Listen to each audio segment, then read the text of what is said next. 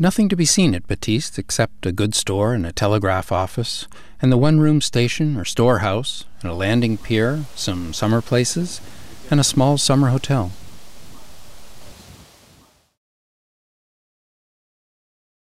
I thought there was no good level place for the tent, but when I kicked around amongst the bracken and loosestrife, I found a very nice place, where there is a breeze across the point and shade from a big spruce tree. The fireplace part is rock sloping to the water, with a small hollow in it, where I'll put the fireplace and cooking and painting shelter.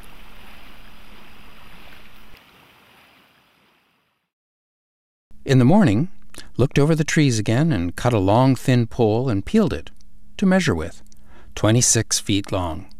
Measured around the place for a while to see where a cabin could go, then cleared up some fallen stuff to see the ground better. One of the reasons for the cabin being here.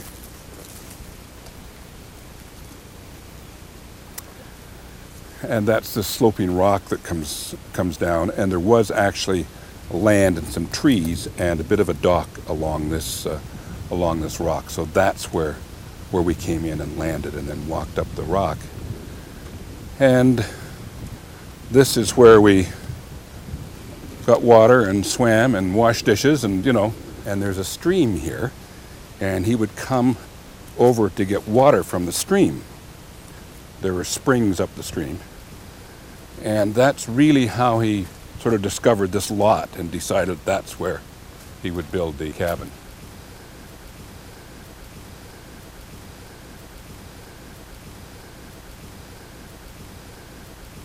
Milne finished building the cabin in 1949.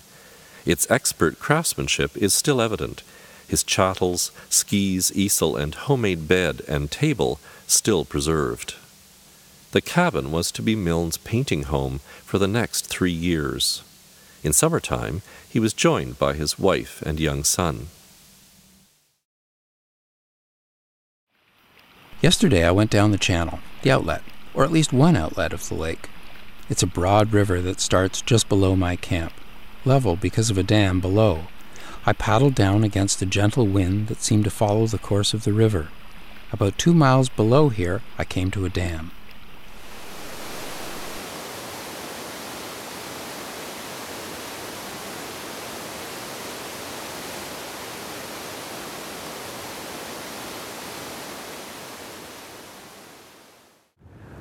Uh, my father always looked forward to fall colors and grumbled if they weren't very good. And if you look a lot at a lot of the Baptiste Lake paintings, they are fall landscapes. Sky was certainly a very important ingredient here on, on Baptiste Lake, as it was on Six Mile Lake. Today I got the painting started. In the forenoon, made a few pencil sketches and one watercolor. In the afternoon, a large watercolor, all from the point. No frost yet, and no sign of changing color, except one handful of leaves in the bush. I can just begin to realize that there won't be any maple color. There are no maple trees, except an occasional one in the bush.